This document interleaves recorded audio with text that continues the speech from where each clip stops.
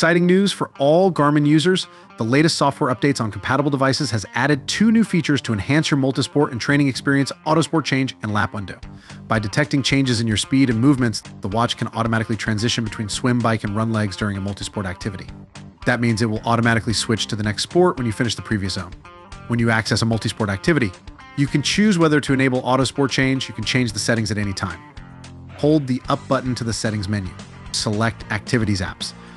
Choose a multisport activity. Access the activity settings. Navigate to Autosport Change.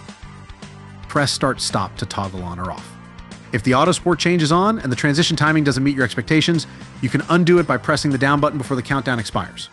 This feature is also available for activities that support manual laps, but not for activities that trigger automatic laps, runs, rests, or pauses. Enjoy smooth transitions and easy control with these new Garmin features.